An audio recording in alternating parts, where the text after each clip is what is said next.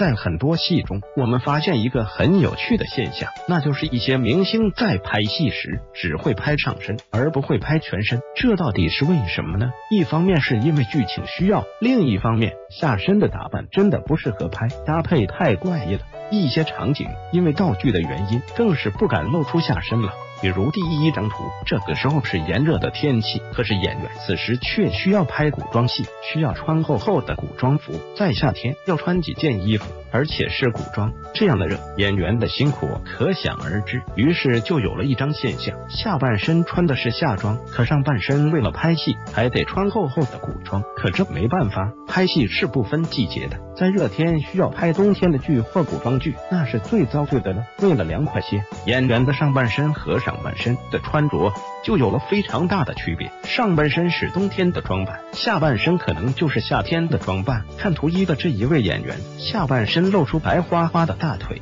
上面这是厚实的古装。如果真的把全身拍下来，那得多怪异呀！因此，这个时候只能拍上半身了。一般明星只拍上半身，还有一个情况，那就是下半身用的道具，比如演员遇到了骑马的戏份，有些地方不好骑马，或者演员本身不会骑马，于是就可能直接骑在人的身上，把人当成马骑，以达到拍戏的效果。当然。这个时候，下面的人就比较辛苦了，需要背着整个人，而且还得配合拍戏。要是一个女演员骑在身上还好点，体重比较轻；可如果是一个壮汉，那就悲惨了。遇到这样的戏份，自然的只能拍上半身，让人看出是骑马的样子。其实哪里是骑马啊，是骑人呐！此外，有时候拍马戏的时候也用到了假马道具，并不是真马。下面用的道具自然不能进入镜头的，只能拍上面的。这样的戏拍完后，再经特效效果，就像真的骑马了。而在冬天拍夏天的戏时，也同样遇到类似的问题。在冬天拍夏天的戏，上半身穿的少，为了演戏吗？可下半身很可能